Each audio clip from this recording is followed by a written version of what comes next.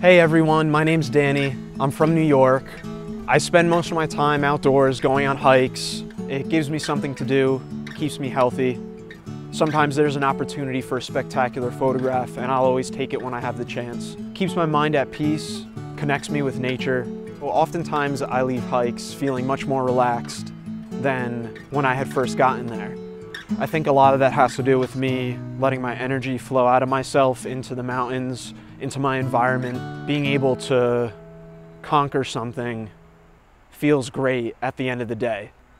I knew at a young age that photography was going to be one of my main focuses, but I had not known that wildlife photography was going to be the focus until my college years. For most of my life, a lot of my time spent outside was just a hobby. It wasn't until I started to document my activities outside where I realized that that was going to be my focus. From time to time, when I can't find something to photograph, I'll usually spend my time documenting whatever hobby it was I found to do that day. For instance, sometimes that's me when I'm just kicking the soccer ball around trying to have a good time, or when I take my bike out for a cruise. Sometimes that's even going on a ski trip. Throughout my childhood, I spent most of my time outdoors, engaging in activities with friends like making tree houses, exploring the woods, playing games where we had to chase and find each other and where we're hiding. Those were the real memories. That was what was important to me. And that is what stuck with me and followed me to the future where I am today. I have this one memory that goes way back to when my father gave me a pair of binoculars and he said, Here, you can use these while you're outside. And I took them everywhere. I was always looking through them, seeing what animals I could see out in the distance. Fortunately enough, uh, behind my house was woods and uh, these very tracks, which gave me great opportunity to come out here and explore and look for wildlife.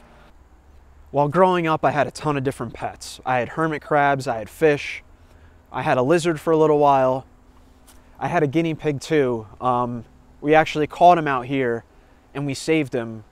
My family and I took care of him for eight or nine years. So there's someone I'd like you to meet. That's right, I got a panda of my own, and his name's Jeff. He's not quite the real thing, but uh, I named him Jeff after the famous Instagram panda seen in the pictures. Maybe I'll be lucky enough to meet Jeff one day. Nowadays, I spend most of my time outdoors, or at least I try to. Recently, it's become more difficult to get outside and travel due to financial resources, education, and employment.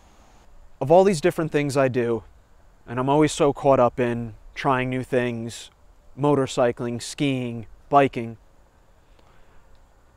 Traveling to a new country to learn a new culture and become a part of that and being able to take care of pandas might be the most important thing that I do. I know that deep down, this experience would change my life. Being able to take care of the pandas, learn a new culture, and be a part of something new would mean the world to me. I hope you choose me because I'm not too sure of myself, and I think most people are a little too sure of themselves and they know exactly what they want to do. To be honest, I still don't know what I want to do. That's why I'm trying to get out and travel and have new experiences. I like to keep adding stories to my story to further my career and to be a better photographer.